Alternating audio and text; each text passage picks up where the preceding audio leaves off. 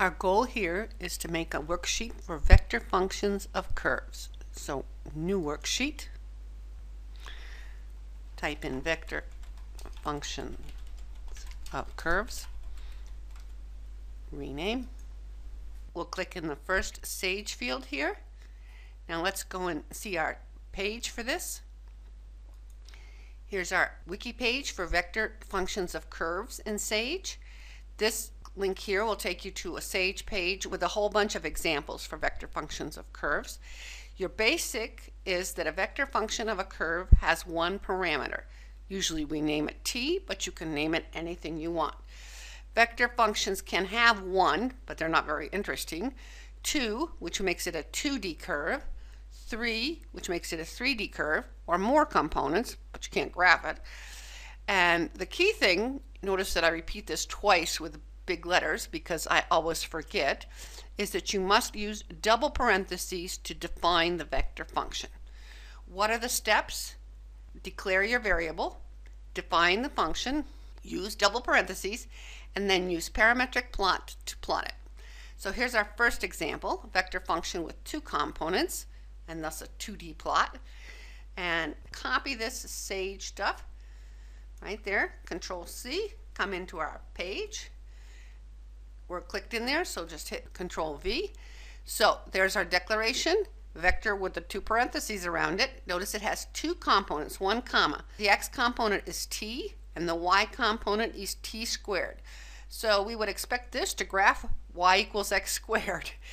And the most simple plot is just parametric plot, and then the name of your vector function, r, and then the range of your parameter, so t from minus 2 to 2 here. Now we're going to make this smaller because it won't fit on our page here. So we're going to click before the final parenthesis, add a comma, and write fig size 3. The default is 4. Okay, so we're ready. Evaluate. Let's scroll down a little bit so it can make it in the picture. And there we go. And it looks like y equals x squared because it was a 2D plot of a very simple function where we just declared x equal to t and y equal to t squared. Okay, let's go back to our page. If we scroll down here, we have an example here of a vector function with three components and automatically a 3D plot. We're starting as if it's a new page. Maybe you just want to do this, so we're going to put the declaration of the parameter there. Copy it and come back to our page. So we're pasting in these commands.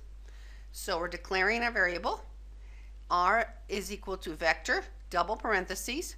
The x component is sine of t.